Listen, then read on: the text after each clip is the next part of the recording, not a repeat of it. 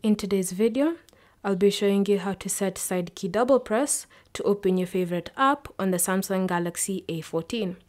So first, open the settings app and under settings, scroll down to select advanced features. Tap on side key and here you should see the option double press. Ensure double press is enabled like that and then come to the settings app and scroll through these settings and select an app you would like to open with a double press. So let's choose Netflix. So now when you double press with a side key, Netflix opens up.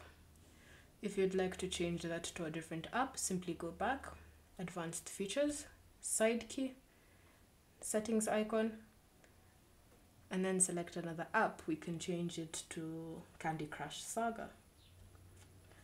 Then double press on the side key.